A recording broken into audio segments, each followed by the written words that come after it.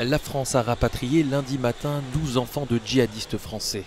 Le plus âgé a 10 ans, ils sont isolés et particulièrement vulnérables, certains sont malades et dénutris, la plupart sont orphelins.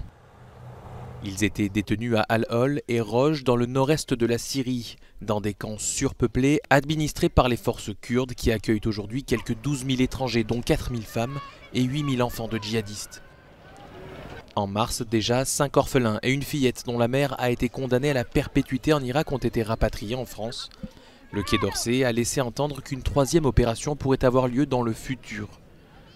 La France reste réticente à rapatrier et à juger ses ressortissants liés à l'organisation État islamique.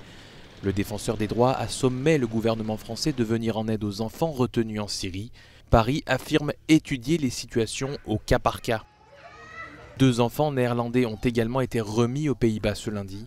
Selon le Quai d'Orsay, environ 450 ressortissants français affiliés à l'État islamique sont détenus en prison ou retenus dans des camps syriens.